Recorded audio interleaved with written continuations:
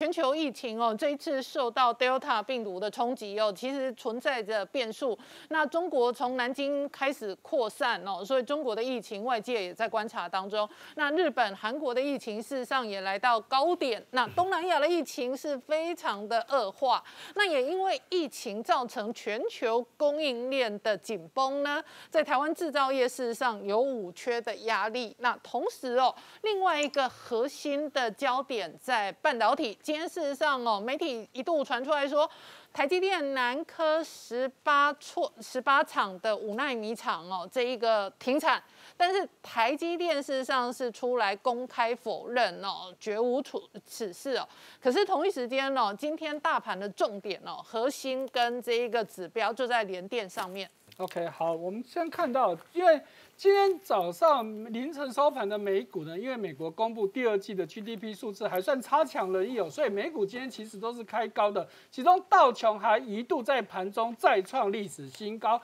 那收盘呢，四大指数其实也都是维持收小红的，所以今天台股其实刚开盘的时候其实还不错，可是之后就一路往下杀哦，好，杀到今天最后收盘收。一万七千两百四十七点，几乎是今天的最低点，跟最低点大概只差了十点，所以一共大跌了一百五十五点，跌幅大概是零点八九趴。好，那今天刚提到的这个台积电哦，好，虽然传出来的这样子的问题啊，可是今天台积电其实只有小跌三块钱，跌幅是零点五一趴，好，那收在五百八十块钱，还算 OK。那联发科的部分呢？今天跌幅就比较重了哈。最近联发科的股价波动蛮大的哦，一下子大涨，一下子大跌。今天又跌了二十三块钱哦，收在九百一十块钱的相对低点。跌幅来到二点四七趴，不过呢，今天主要的、最主要的撑盘呢还是联电。好，我们昨天就已经提到说啊，联电的业绩呢，其很多的法人都看好，尤其是外资呢已经喊价到一百零二点八元的目标价，所以今天联电几乎要攻六十块钱哦，最高来到五十九块九，收盘收五十七块八，好，其实也是拉回了不少。嗯。但是还是涨了三块二，涨幅高达五点八六趴。可是呢，哎，我们的谢金河社长出来讲了哈，这个外资啊，一下子喊多，一下子喊空。明明上个月才叫大家不要买买联电、买台积电，结果现在又出来很多。所以呢，这个谢社长就举这个航运股的例子，嗯，航运股也是一样的情况啊，都跟你说看好看好，结果呢，把你杀到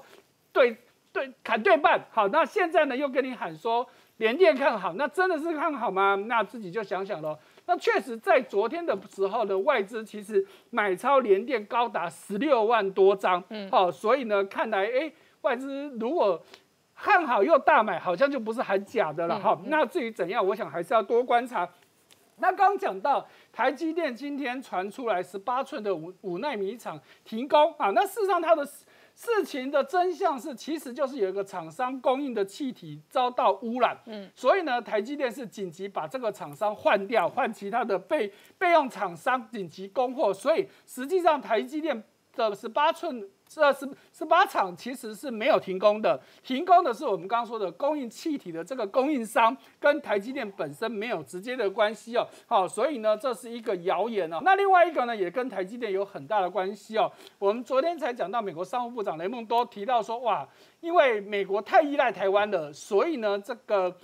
半导体的这个补贴案呢，可能台湾不会拿到。但是呢，哎。接受媒体访问的时候，雷蒙多又改口了，说：“哎呀，没有这件事情还没有定案呢，一切还是等拜登总统说了算。”再来就是这个晶片，啊，还记得台积电在法说会的时候，其实说这个晶片到第三季应该就不会有缺的，可是显然不是这个样子哈，因为越来越多的国际大厂都跳出来说啊，真的是缺啊。好，那其中日经亚洲呢就调查了很多的厂商呢，得到的结果一致都跟你说会缺。好，譬如说苹果。就已经跟你讲，我就是缺晶片，所以让我损失了好几十亿的业绩，其中影响最主要的就是 iPhone 跟 iPad。那丰田汽车也也说，因为缺晶片，下个月我的高钢厂要停工了。好，那再来 Intel 说至少还要再缺一到两年。那，SEMI 就是国际半导体设备协会说，这个整个晶片设设备的市场需求呢，还是要持续的成长，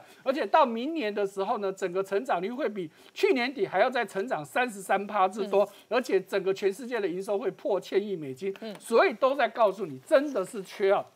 好，那既然晶片缺呢，相关厂商其实就会从中得利。我们看到日月光今天又大涨哈，今天。大大涨了七块半的涨幅高达六点五二趴，收在一百二十二块半。那当然也跟它公布上半年的业绩又再创历年的新高有很大的关系哦。其中上半年营收成长二十趴。那上半年的存益更成长高达七十三趴之多，所以上半年的 EPS 已经来到四点三七元，好，全年有机会要攻十块钱的，好，而且他已经告诉你，下半年呢都是持续看好，甚至可以好到明年的一整年，好，所以呢这都跟缺货有很大的关系嘛，好，另外我们再看到钢铁业今天中钢的表现还算差强人意哦，在这个大跌的情况之下，它还小涨的零点零五元。那大成钢也可以收平盘，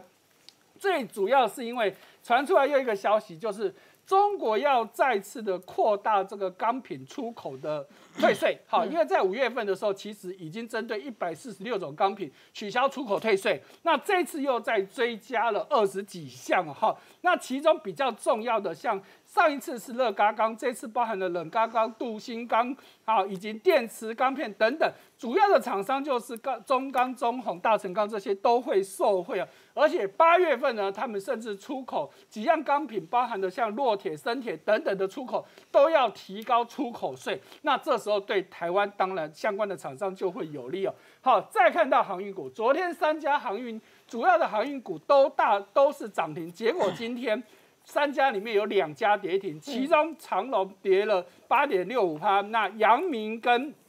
万海都是收跌停的。好，那这个阳明明明就有好消息哦，什么消息呢？他说啊，他要再次去调整 GRI，就是所谓的附加费，因为我们在这里讲过很多次，因为塞港塞得太严重了，所以呢，从七月起，他每隔半个月就调高一次附加费，这次已经是第五次了，哈，两个月里面调高五次，很夸张。不止这样子哦，大家都听过有加班车，你有听过加班船的吗？嗯，哇，姚明准备在八月份要加开两个加班船，一个到欧洲，一个到北美，而且其中都会经过台湾，都会告诉你说，真的生意非常的好哦。好，再来台湾的经济。